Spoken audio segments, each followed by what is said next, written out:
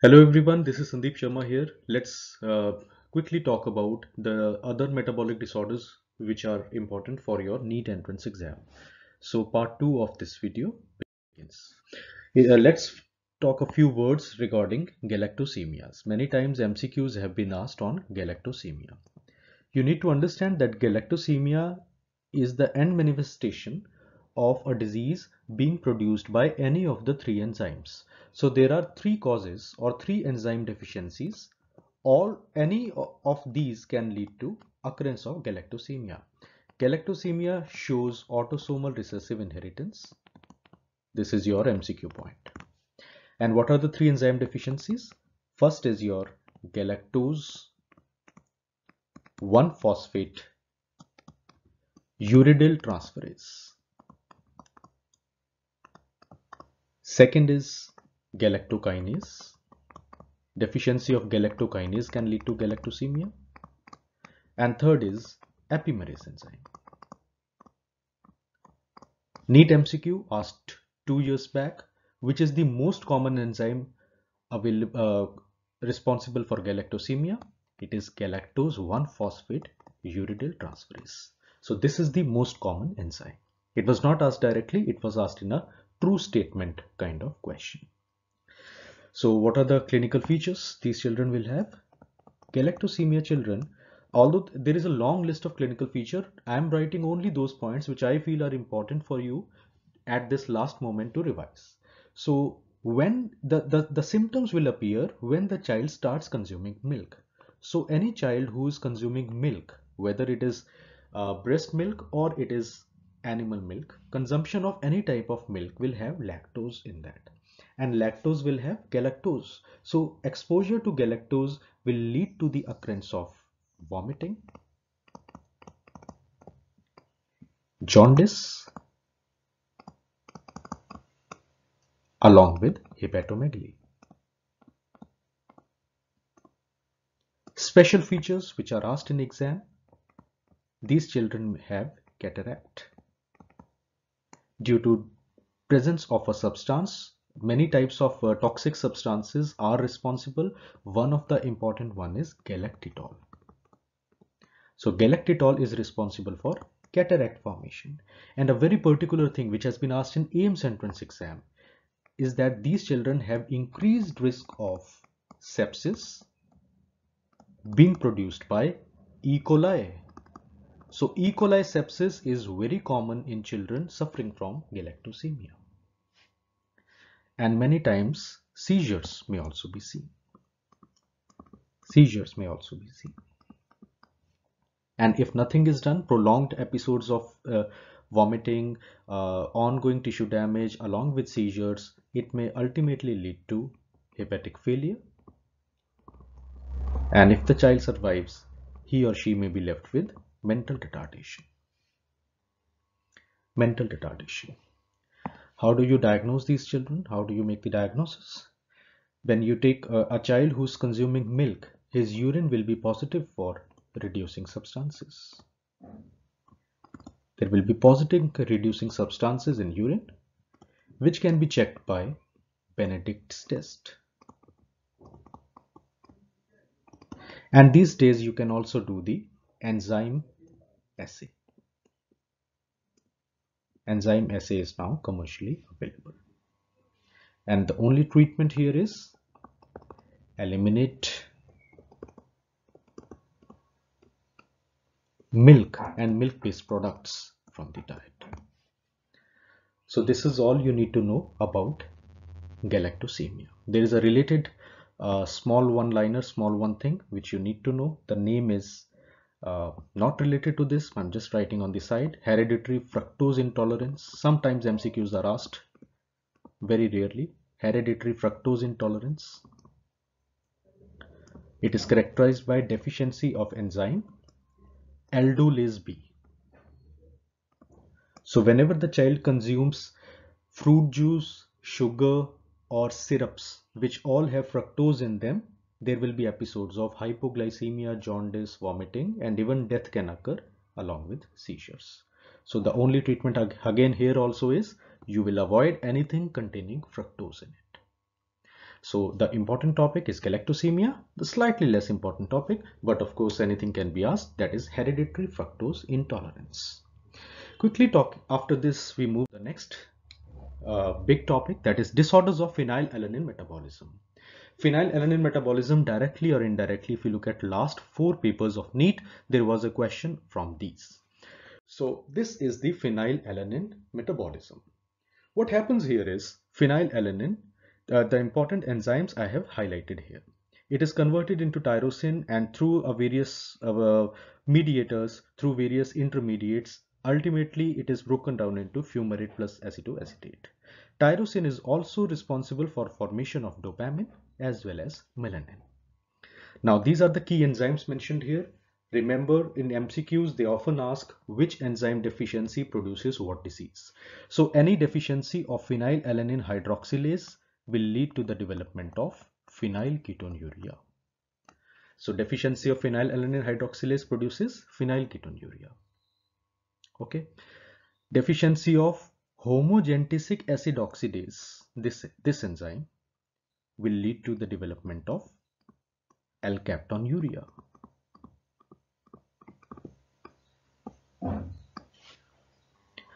Deficiency of fumaryl acetate hydrolase will lead to the development of tyrosinemia type 1. Deficiency of tyrosine aminotransferase will lead to de development of a disease known as tyrosinemia type 2.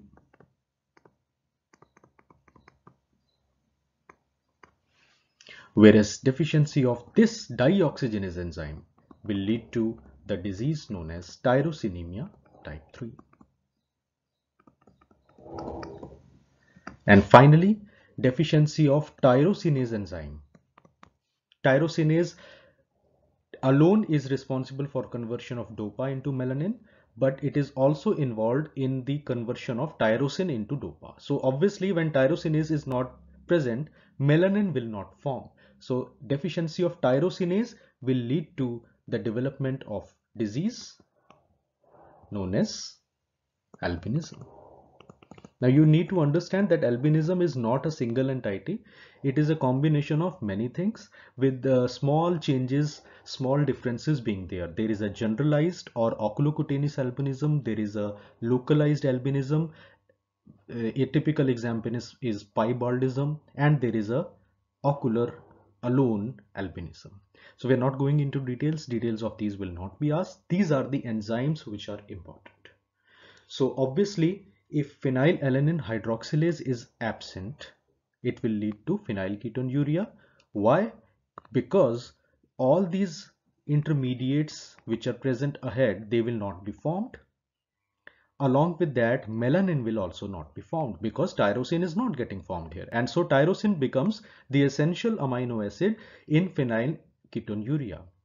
The phenylalanine which is not getting converted into tyrosine will get converted into toxic substances and they will be responsible for mental retardation in the child. So few words, let's talk about phenylketonuria. Phenylketonuria. Autosomal recessive disease caused by deficiency of phenylalanine hydroxylase. We have already discussed what are the key features. These children are normal at birth. So they don't have mental retardation at birth. It is a one-liner MCQ. Questions was which among the following is incorrect regarding phenylketonuria? Four options were there. One option was mentally retarded and developmental delay since birth. That is wrong. They are normal at birth, but as phenylalanine accumulates, it gets converted into toxic substances like phenylpyruvate and phenylacetate, and soon seizures and mental retardation start developing. Seizures and mental retardation start developing. They also have hypopigmentation with blue iris, blue eyes and blonde hair. They have a musty or mousy odor in the urine and they also have dental enamel hypoplasia dental enamel hypoplasia how do you make the diagnosis? Diagnosis is made by ferric chloride test which is done on urine which shows a if it shows a positive green color it is positive for phenylketonuria it is due to presence of phenylalanine phenylalanine metabolite in the urine. You can also do Guthrie's test here and the only thing which you can do for the treatment is restriction of phenylalanine in the diet. Plus you need to understand that since tyrosine has become a essential amino acid here so you need to give additional tyrosine in these children. Few words regarding alkaptonuria one mcq asked in JIPMER entrance exam alkaptonuria was the first inborn error of metabolism to be diagnosed historical question but don't trust the examiners. They can ask virtually everything. It also shows autosomal recessive inheritance. What are the clinical features? These children present with accumulation of pigment in the cartilaginous regions producing the so-called ochronotic arthritis. Ochronotic arthritis. There is also grayish black to completely black discoloration of the cartilage which cartilage? You can easily see uh, the blackish discoloration. It occurs in the pinna. So black pinna is often sometimes found. Then urine has a tendency to become darkened on standing. So if MCQ says urine becomes dark on standing immediately think of alkaptonuria they have increased risk of renal stones and they have problem of cardiovascular disease particularly calcification of the valves is a problem here. Treatment in alkaptonuria is supportive. Treatment is supportive. Vitamin c has been shown to decrease the pigment deposition but it does not affect the primary disease itself. And a specific drug known as nitisinone can slow down the disease progression. What is nitisinone? It inhibits it inhibits 4-hydroxy phenylpyruvate dioxygenase enzyme. And because of that, homogentisic is not formed and so uh, the accumulation of toxic metabolites like homogentisic acid derived pigments they tends to get decreased. So two drugs are available in alkaptonuria, vitamin C and nitisinone. But nitisinone is a very toxic drug. It is not available in India. You need to import this drug and so it, it becomes very costly. So these are the few points related to phenylketonuria and alkaptonuria for your entrance exam.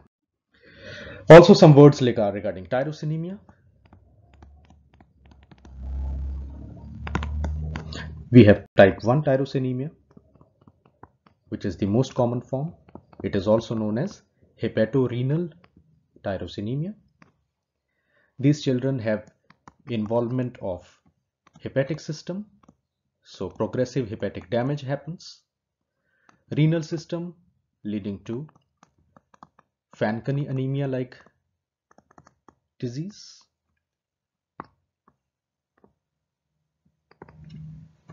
And third, they have peripheral neuropathy. Fanconi anemia with proteinuria and they have peripheral neuropathy. When you do blood tests, you will find on investigations, you will find raised alpha fetoprotein. This is very important, MCQ point. And there is also accumulation of succinyl acetone in serum and urine. It is a toxic agent. Treatment in Ty tyrosinemia, drug of choice is available, the same one, nitisinone. If it fails, you will go in for liver transplantation. And what is the long-term complication? The long-term complication are cirrhosis of liver and hepatocellular carcinoma. Hepatocellular carcinoma. Then we have the two other forms, type 2 Type 2 is also known as oculocutaneous tyrosinemia. Obviously, the name itself is suggestive. Eye and skin will be involved. So these children have hyperkeratosis in the skin. So there will be rough, dry plaques, hyperkeratotic plaques on the palms and soles. Where along with that, these children will also have ocular feature in the form of corneal ulcers. Mild mental retardation is also seen. It is a slowly progressive rare disease and the most rare form of tyrosinemia is type 3 where there are seizures, ataxia and developmental delay. Time of presentation is variable, progression is variable. So for your purposes, entrance exam purpose, type 1 is the one which can be asked to you in entrance exam. So after talking about this, there is a small approach we'll be forming. Uh, the approach is called as approach to inborn error of metabolism in infants. So any infant comes to you with suspected IEM, the first investigation you would perform is plasma ammonia. So plasma ammonia is the first investigation you would do. There can be two possibilities. Plasma ammonia is high or plasma ammonia is normal. If it is high or it is normal, you will the second investigation to do in both cases will be arterial blood gas analysis. Now ABG will show two things. Either there will be no acidosis or there will be acidosis. Here also acidosis and no acidosis. If the plasma ammonia is high, but there is no acidosis, pH is normal. The likely diagnosis is urea cycle defects. So raised ammonia in the absence of acidosis is the classical presentation for urea cycle defects. Please remember this. Clinical MCQ has been asked on this table. If it is, if there is no acidosis and no raised ammonia, you would think of conditions like phenylketonuria, other rare amino acidopathies. You will think of galactosemia. And you will think of peroxisomal disorders like Zellweger syndrome. And if the acidosis is present, if acidosis is present, whether ammonia is normal or raised, you would see if the ketone bodies are present or not. If ketone bodies are present in urine and serum, ketone bodies present, you would think of mitochondrial defects and you would think of organic acidemias. And if there are no ketones in blood or urine, you would think of fatty acid oxidation defects. So this is a condensed form of a protocol which is given in AIIMS. Two MCQs have been asked not only in central institutes, they have been asked in NEET entrance in the older papers as well. So remember this approach for your upcoming exams. Then few words uh, we'll be talking about mucopolysaccharidosis. You can give, we can form a small table here. Mucopolysaccharidosis. We're giving the short form. On one side type then the name of the disease enzyme deficient and the features. Only the key ones we'll be talking about. So type 1 is known as Hurler syndrome. A variant of this is Scheie syndrome. Enzyme deficient is alpha L iduronidase what are the clinical features? They have a coarse facies. In the previous video, I had shown you a picture. Coarse facies. They have corneal clouding. They have bony changes. That is dysostosis multiplex. They have hepatosplenomegaly and they have mental retardation. Type 2 is known as Hunter syndrome. What is the enzyme deficient here? It is iduronate sulfatase. What are the features? They are same as Hurler syndrome, but there is no corneal clouding. This is very important. They have no corneal clouding. Type 3 is Sanfilippo. Where the deficient enzyme is heparin S sulfamidase and they have only mental retardation with some plus minus coarse facies. So it is a very mild form except leaving out the CNS part. And then we have type 4 which is Morquio disease where the enzyme deficient it is N-acetyl galactosamine 6 sulfatase. Names are a bit complicated but we can't do anything. And then we have type 6 that is Maroteaux French word Maroteaux Lamy disease the enzyme deficient is aryl sulfatase B. Clinical features will not like not likely to be asked. If uh, type 4 is characterized by predominantly bony abnormalities and type 6 is correct it is similar to morchiosis but there are less bony abnormalities more risk of visceromegaly so visceromegaly is more prominent so this is the differential diagnosis of mucopolysaccharidosis from important from entrance point of view. And finally this is the table for lysosomal storage disorders. On uh, this side I have shown the blocks and the disease. On the left side here I have mentioned the enzyme. So deficiency of hexosaminidase A is responsible for Tay-Sachs disease. Deficiency of alpha galactosidase A is responsible for Fabry's disease deficiency of glucocerebrosidase also known as beta acid glucosidase is responsible for Gaucher's disease deficiency of Aryl sulfatase A is responsible for metachromatic leukodystrophy, which is a white matter disease. Deficiency of galactocerebrosidase. Gluco is Gaucher, galacto is Krabbe's disease. And finally, sphingomyelinase deficiency is responsible for Niemann Pick disease.